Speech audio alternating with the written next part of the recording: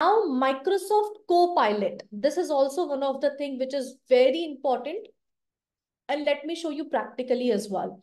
So when it comes to Microsoft Copilot, guys, here we go. Um, if I talk about app.power BI, so this is the service login. Okay. Copilot is integrated with the Power BI already. So you don't need to confused. I want you to make a note of it. Microsoft Fabric is a different thing. Microsoft Power BI is a different thing. And Microsoft Copilot is integrated with both of them. Okay. So Microsoft Copilot is just an AI tool. It's just a chat GPT of Microsoft applications so that if you face any issues, then you can ask to Copilot. Okay, so as you can see, guys, now we have a lot of tools for data handling, like we have Power BI, in Microsoft Fabric as well, we have a lot of tools. So what if you need to ask, what is data factory, how to use it? What is data activator, how to use it? What is data warehouse? What is real-time analytics? What is the use of data engineering in Fabric? How to use it and so on. So maybe you have a lot of questions in your mind, right? That's why Copilot comes into picture. Copilot is a chat GPT of all these applications. If you have a question, ask to the Copilot and you will get your answer. Okay. Python is not required for Fabric. No, not at all. Python is, see, Python, R, Tableau, just sab bhul jao. Okay. Just focus on Fabric and Copilot. They are completely independent tool and within two, three years, these tools will be the market capture. That is for sure, 100% sure. Okay. So now, as you can see, when it comes to this online tool in here, online Power BI application, I will open one report. Okay. And as soon as I have opened one report, can you see the Copilot in here at the top?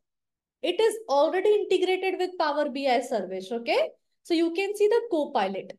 But there is a bit condition. There is only one condition behind using Copilot, which is if we use Copilot, we need to use Fabric Warehouse. We need to use data which is presented in Fabric. So guys, this is a game of the Microsoft as well. Because if we need to use all the features of the Fabric or Copilot, then we need to spend some money for their licensing. It can be 500 to 1000 or to 2000 rupees as well. It is, it will be a very, very less amount. I will help you to log in into, you know, Power BI, Fabric and Copilot as well. But as of now, you need to just clear your foundation. Okay. That Microsoft Fabric is something where we can handle the end-to-end -end data okay where we can not only handle data where we can store the data as well have you guys heard about sap hana sap servers and so on sapna rajiv praveen megha aditya neha most of the students are saying yes no no ma'am and so on so guys companies invest the lakhs of rupees in the sap servers just to store the data effectively just to handle the data effectively and for the data scientist processes as well. Okay, so that's why Microsoft comes with their own data warehouse. Microsoft thought that you will do all the visualization, reporting, everything on my tool, but you are storing data on other applications. Why is it so? So that's why they come they come up with their own data warehouse, okay, which includes in the Microsoft Fabric itself. Now, when it comes to Copilot, so as you can see, guys, Copilot is already integrated with Power BI service. As of now, I have imported the data from Excel now. That's why Copilot is not working. But if I import the data from, uh, we can say, Fabric data warehouse itself, then the Copilot will work for sure. Yes. Likita and so on. So guys, also one thing that I want to share with all of you that let's say if I click on create, do you guys know this particular feature? Like if I click on create, so automatically in the service, in the Power BI platform, you will get this option. Other items you can create with Microsoft Fabric, like you have a complete lake house, warehouse, and notebook, and so on. So these all are the platforms to store the data. But we can get a data from Excel, CSV, or we can paste manually as well. Okay. So if I do one thing, if I get a data from, um, if I paste the data manually in here, so let me open a data in here. I'll take some data from Excel sheet. Okay, let me take this data. Okay, let me copy the data here. Okay, copy the data. And now I will use first row as headers. Okay. And now, can you see guys, we have multiple options in here. Create auto report, create a blank report or create a semantic model only. Semantic model like data modeling and all. So I will create, I will auto create a report and let's see how it will work. So just click on, click, uh, you know, create a auto report. So once I click on it, it will take one, two seconds. If your data is huge, it can take more time to create an auto report as well.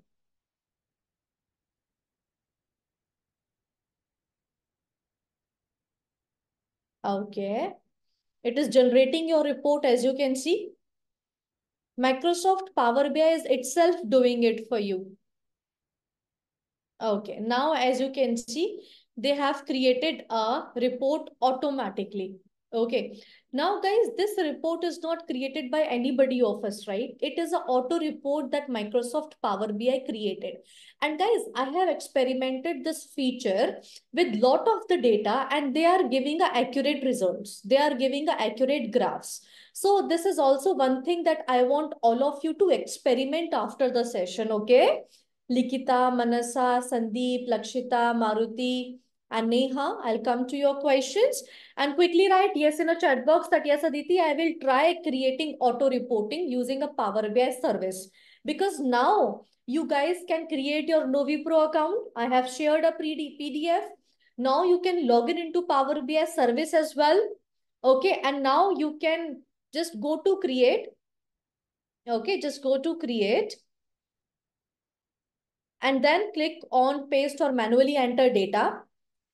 Then paste the data, use first row as headers, then create auto report. Okay, and try it from your end that with how accuracy the Power BI is creating the report. You can try with multiple sort of data set as well. Okay, it's completely on the autopilot mode. AI is doing it, uh, you know, on the behalf of us. No problem, Anu, Rajiv. We have Sanjay Kumar, Raj Kumar will help you with the same. So as you can see that your report is ready and it will just take one more minute. As you can see, the exactly report has been created. But what if you need to do some changes? Okay, then you can click on edit as well. You can click on continue. And now you have a data. And now if you want, you can edit this report as well. Okay, let's say if I don't want this chart, I want a pie chart, we can use it. I don't want this chart. I want, let's say the funnel chart, we can use it.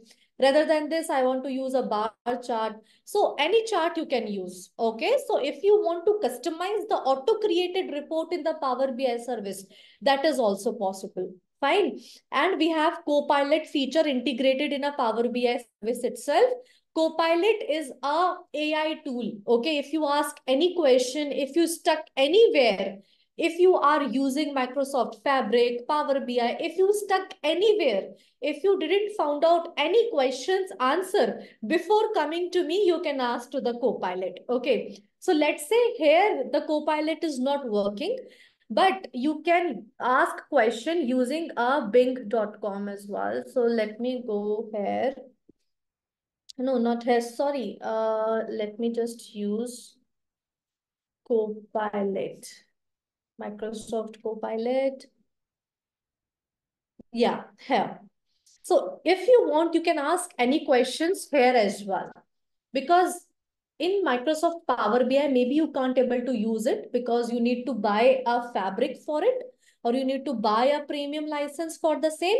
So here is an alternative. You can directly go to the copilot.microsoft.com and you can ask any questions from here related to anything. For an example, uh, let's say I will ask what is the difference between, okay, Microsoft Fabric and Power BI. Okay, let's see what's what will be the answer. So Copilot is generating the answer, and as you can see, Microsoft Fabric, a clear architecture, workload, strength, limitations, and you can see the Power BI answer as well. Okay, so this is the answer that you got. And let's compare this answer with the chat GPT. You can sign in into Power BI, just a minute, huh? You can sign in, if you see in the Copilot, I have not signed in yet. So it is not mandatory to sign in into Copilot as of now. So let me ask a same question to the chat GPT.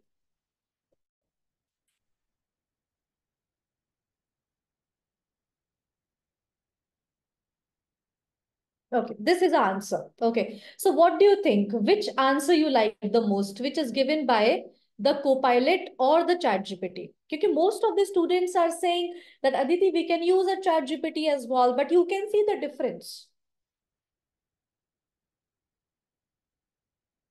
Ah, okay. You can see a code difference. Copilot is free to use. That's why it can have a some questions limitations. Copilot is more organized and Copilot is only for the Microsoft applications. Okay, you can't able to just ask anything uh, to the Copilot. Okay, so it is only mostly designed for the Microsoft applications. That's why you can see this much accurate answer. Okay, Narayan, Rohit, Nikita, Manoj Kumar, Manasa. So I want all of you to experiment on this as well, okay? So after this particular session, you will get a lot of tasks. The first is you need to create a Novi Pro account. Make a note of it, guys. The second thing you need to you need to try login into Power BI service and create a auto report, okay? And try to edit the report as well. Once you do it, the third thing is you need to experiment on the Copilot. Okay, Copilot ask a lot of questions to the Copilot related to the Microsoft applications, right? So that's how the Copilot comes into picture, guys, where it is integrated already with the Power BI service platforms, okay? And Copilot is specially for a Power BI, which is a complete AI tool. Copilot, you can describe the insights. You need to ask a question. You can ask any question about your data to the Copilot. Copilot will analyze. Copilot will put the, you know, pull the correct data from data warehouse. Using Copilot, you can edit the DAX calculations as well. So this is also one of the things that I want to ask each and every one of you. How many of you struggle with writing a DAX calculations? Anyone? Praveen, I will write all the tasks that you need to do after the session, okay? How many of you struggle writing a DAX functions?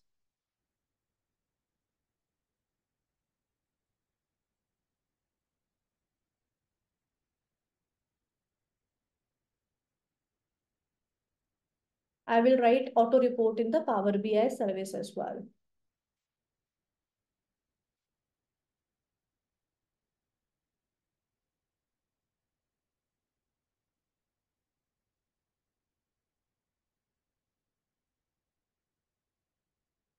Okay, so most of the students are saying that, yes, Aditi, I do face a lot of issues by, for writing a DAX function. So as you know that Copilot is very, very good in writing DAX functions as well. Okay, so if you feel like that you can't able to understand any function, any functions, any function that you wrote in the Power BI, it is not, you know, working, it is giving you an error, then you can take a help of the Copilot. Okay, so after this session, try to write some DAX functions using the Copilot itself.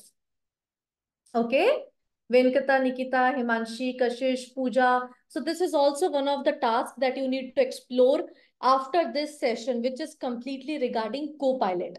Okay, and regarding the DAX as well. Okay, you can ask something like, uh, what if I want to calculate, let's say, what if I want to calculate year on year sales growth of my uh, product. Okay. So what is the DAX function I can use? So let's see what is the answer we're gonna get.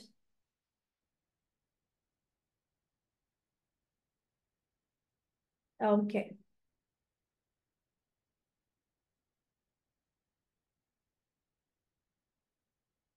Yes, Babita.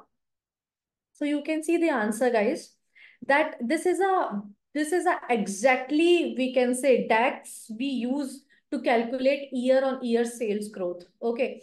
First of all, you know, we need to define a measure of total sales. First of all, we need to calculate a total sales. Okay. The second thing is we need to calculate our last year sales. So we have calculated the last year sales like this.